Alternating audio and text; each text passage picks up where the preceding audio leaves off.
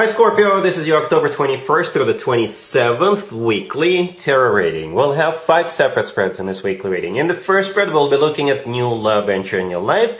And spread number two is for those of you who are already in a relationship or married. In the third spread, we'll see if anybody wants to get back together with you. After that, in spread number four, we'll talk about your work, your business, and your finances. And uh, the fifth, the final spread will be what you're not expecting to happen this week. Please like, comment, and subscribe to support this channel. So this first spread is a new love this week, Scorpio. We have uh, the Six of Swords, clarified by the Three of Cups. We have the Knight of Cups. We have the Six of Cups, clarified by the Magician in the potential outcome, we have the Ace of Swords with the Wheel of Fortune and the Two of Cups.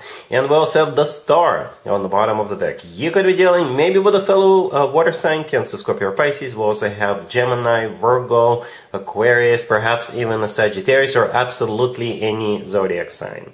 So let's talk about this, uh, Scorpio, real, real quick. There is an element of the past um, in this reading, in this spread. However, the element of the past doesn't show up from the very beginning, right? You see that Six of Cups right there, kind of in the middle, clarified by the Magician, the magi- uh, the uh, the Six of Cups.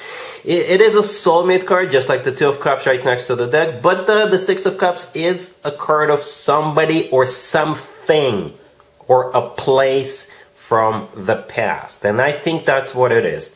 For some of you, the the thing is, the problem, I guess, is the confusion is is that the Six of Cups showed up much later not in the beginning, not in the bottom of the deck, but much later. It was the last card that came out in the uh, main spread on the left. Therefore, here's what it makes me think. It could still be somebody from your past. Maybe it's a reunion of some sort. Perhaps it is a reunion, not with somebody whom you were in love with, I mean, whom you were in a relationship or whom you were married to, but it's just a reunion with somebody from the past. Some of you could be traveling to some kind of reunion, right? Maybe you're traveling where you grew up this uh, week, or they're traveling where they grew up, and perhaps there's an age difference, and that's why you, your paths never crossed in the past. Maybe you two went to the same high school together or something like that. And uh, the this element of the past will be what will reunite you or unite you.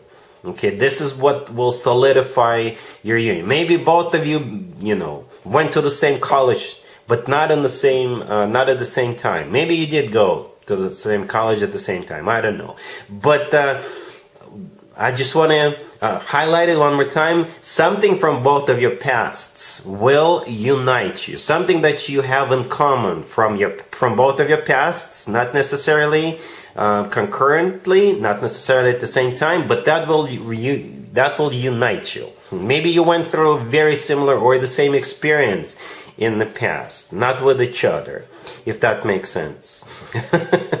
all right, but the the three of cups all the way to your left clarifying the Six of Swords. The Three of Cups is some.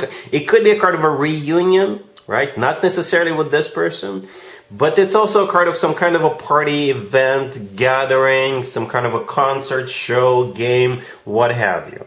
All right, the Knight of Cups, the next card over, could be a fellow water sign, Cancer, Scorpio, or Pisces, but this is the most romantic, the most loving, uh, the most caring knight out of all four knights. All right, so there's definitely going to be a love coming your way. The Magician, clarifying uh, that Six of Cups, the Magician is either a Gemini or Virgo you're dealing with, but the Magician is also a card of manifestation. It's a card of taking action. It's a really good card, especially when it clarifies such an amazing, such a great card like Six of Cups. Okay?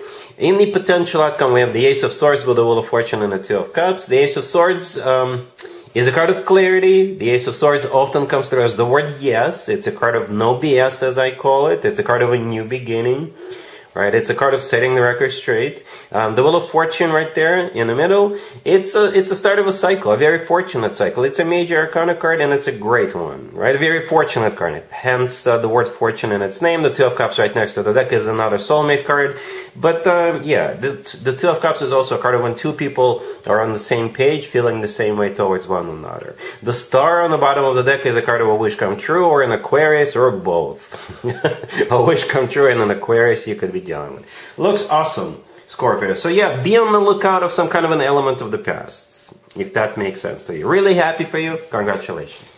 If you are already in a relationship or married, uh, Scorpio, this spread is for you. We have the Four of Pentacles, the Two of Pentacles, the Fool, and the Knight of Pentacles on the bottom of the deck. You could be dealing with an Earth sign Taurus, Virgo, Capricorn. We also have Aries on the table.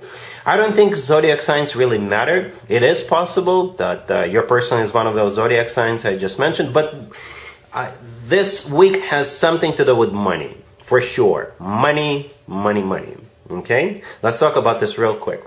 The Knight of Pentacles on the bottom of the deck. I think this is money coming in. I don't know how, but perhaps you're cashing in on something. It could be dividends. It could be a bonus check at work. It could be a, like a bigger paycheck than usual. Could be commission. I don't know. Somehow money is coming in.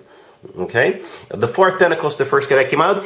Um, I often refer to this card as a savings account card. You see how the person in the Four Pentacles is holding onto a pentacle because they just recently received some money, right? The Knight of Pentacles is coming in, and the the Pentacles is receiving money. All right. Then we have the Two of Pentacles. All right. So with the Two of Pentacles, you're gonna be like, so what? Sh- what should we do with all the money? all right. It's a problem, but it's a nice problem to have. Wouldn't you agree, Scorpio? well, with the Two of Pentacles, you could be like also paying for this but saving some of it but then uh, you, you, may you know indulge yourself go out and uh, spend some of it on entertainment or something like that that's what i think the fool is i think you will be saving some of this money but then also maybe go out together and have like a really good dinner or maybe you know buy some extra clothes or something like that. I think with the full card, you'll be like, hey, let's just uh, let's spend some of it. We only live once or something like that. All right, cool. Let's see if anybody comes back from the past you, Scorpio, this week. Keep in mind, it doesn't have to be uh, the most recent X. We have the Page of Wands clarified by the Ace of Wands. Now we have the Six of Wands. Then we have the Three of Swords clarified by the Five of Cups. And we also have uh, Temperance on the bottom of the deck. Mm, you're probably dealing with a fire sign, Aries, Leo, Sagittarius. Uh, temperance on the bottom of the deck is a Sagittarius card, as a matter of fact. And it looked kind of good, Scorpio, with the first two cards that came out, uh, the Page of Wands and the Six of Wands, and then the Three of Swords showed up. Well, yes, you will be hearing from somebody. You will. But um, the Three of Swords was the last card that came out, right? It is a card of a broken heart. It is a card of feeling stabbed in the back it's a card of a devastation. It's clarified by the Five of Cups, which is a card of grief, regret, and disappointment. So, yeah, I'm going to give it a 50 50. If you can find it in your heart to forgive and forget. Um, but at the same time, you know, I kind of see why you have your doubts about this because they're coming in the, um, with that of Wands, the Page of Wands, Six of Wands. It's like they're not being it's like it's a very playful energy. It's a very hey, let's get together and have some good time. Let's have fun, you know. And you're like seriously, you know, fun is good, but what about the other things? You know, that's what I think is going to be on your mind. You know, yeah, we can have a good time, but uh, you know, I want more. I want more than just having a good time. That's how it feels. So yeah, it's it's up to you, Scorpio. If if you do want to have a good time, yes go for it. Uh, but um, I, I don't know if they want more from you. Just have a just talk to them. Just talk to them. Ask them. I guess the Scorpio. But uh, yeah, at this point, I, I give it a 50-50. All right. Cool. Let's talk about your work, your business, and your finances, uh, Scorpio, this week. We have the World, the Ten of Pentacles, the Five of Swords, uh, clarified by the Five of Wands, and we also have the Ace of Swords on the bottom of the deck. Mm, this is a tricky one, uh, Scorpio, because it this reading the spread ends with five of swords clarified by the five of wands.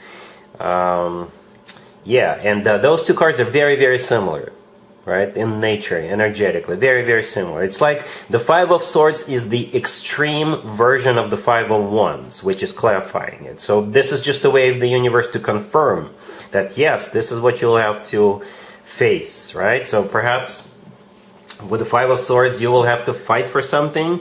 You will have to win. You will have to fight until until uh, you're winning. It's like uh, go big or go home, right?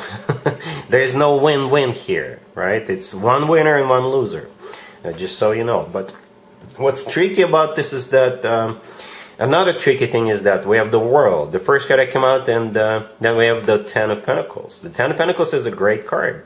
Okay, and the world, the first card that came out, it is a card of an ending, right? It's also a card of someplace remote, by the way. Uh, but uh, the, I always interpret the world as a as a really happy ending, right? So this is when one chapter of your life comes to an end, and a much better, much happier chapter of your life is about to begin. But that goes kind of against that Five of Swords that come, comes out later. Right? The Ten of Pentacles is a card of money, financial abundance. It's a card of a home, real estate. Okay, it's also a card of a family. The Ace of Swords on the bottom of the deck. Um, yeah, it's the Ace of Swords is a it's a it's a sword as you can see, and it's a double-edged sword. The Ace of Swords. With the Ace of Swords, people usually don't play around, don't joke around right? Uh, with the Ace of Swords, people have to be very decisive. Okay, so just to sum up, something. So let me give you some scenarios. All right, say you you want to buy a home, and uh, you, it's like a, a, home at a remote location. So you uh, sign paperwork, you fly out there, or you drive out there, and uh, you may confront somebody on your property, or some, or something like that.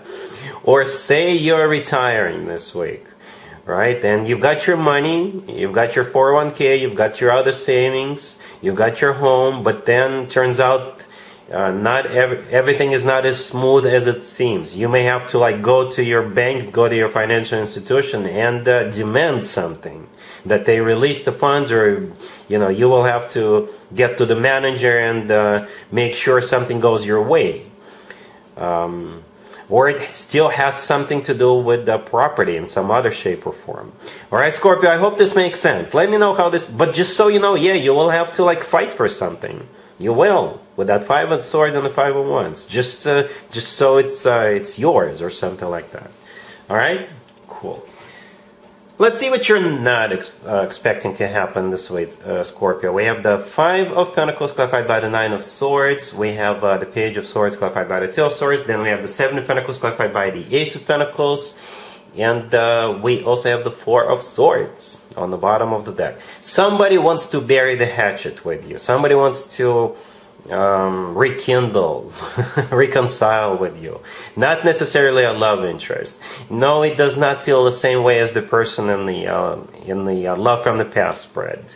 It, this person could be a love interest, but it could be a friend, a family member, it could be somebody you used to work with, used to do business with, what have you. What you need to know is that uh, the two of you right now, you're not speaking. I didn't see you guys speaking. Perhaps you guys had like a major fallout, you got into a fight or something like that right? Uh, that's what I feel with the uh, Five of Pentacles clarified by the Nine of Swords in the beginning, and with the Four of Swords on the bottom of the deck.